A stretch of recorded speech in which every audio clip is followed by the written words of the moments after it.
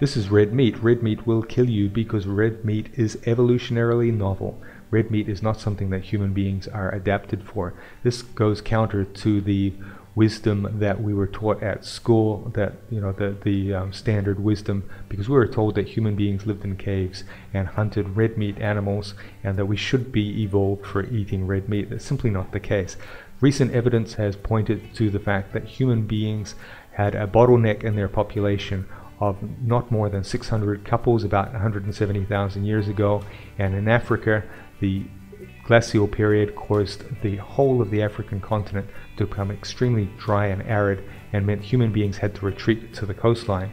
We know that from 170,000 years ago with absolute certainty. We know there was a bottleneck of only 600 couples, and we know that they lived in this area here, and this is because they left their garbage here. This is a kitchen midden. All their trash from 170,000 years ago until really recent times just piled up, piled up, piled up. So these are kitchen middens here. We can find stone tools, mostly shells, remnants of their fire, fecal matter, fibers from plants that they gathered. So we know that they lived on this, this area here and that they ate mostly shellfish and fish and that's from 170,000 years on. Probably before that as well, we just don't have any evidence for that, but we know from 170,000 years to about 60,000 years for the breakout of Africa for the rest of the populations out of Africa, and right up to the recent day, people were living on the coastline. It was only a recent event due to population pressures that people really moved inland and started eating red meat. So we see here in Canada, this, this is 10,000 years of piled up shells. 10,000 years, from about 10,000 years ago to about 1500, just a pile of shells. We can find stone tools and other things in these shells, so we know that human beings caused this deposit of shell, shells and shellfish here.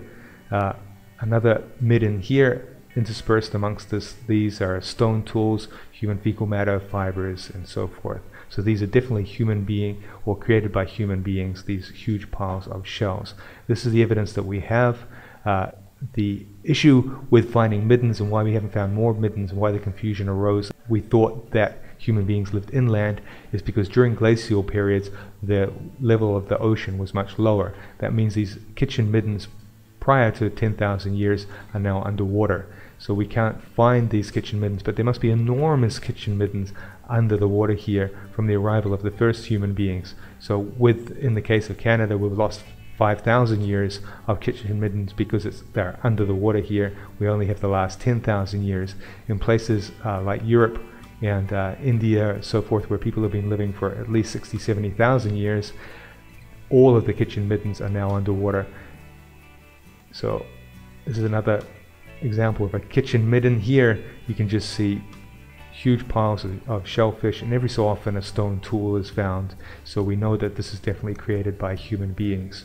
So what does this mean for the human being human beings in the digestive tract? It means that symbiotic bacteria that live in our digestive tract that evolved with us and that help us absorb the nutrients from our food evolved with us while we were eating the, this shellfish and these uh, proteins that we get from the ocean. That eating this red meat is an evolutionarily novel situation. That means that the bacteria that survive in guts that eat this red meat bacteria are going to be the bacteria from other animals, not the bacteria that we evolved to survive with.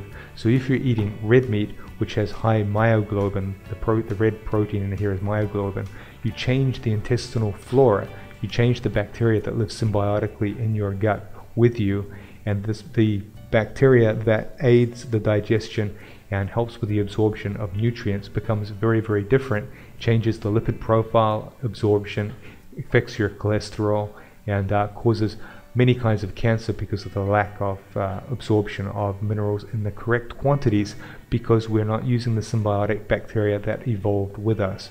So if you eat these kind of things, you're going to end up with a bacteria in your gut similar to a cat or a dog. And this is an evolutionarily novel thing. If we'd evolved eating red meat, that would be fine, but we did not. We evolved eating shellfish. So if you have a high level of myoglobin, a high level of nitrates, and uh, red meat in your gut, the bacteria that will be living in there is not human bacteria, it is a bacteria that symbiotically evolved with other animals and does not suit our situation.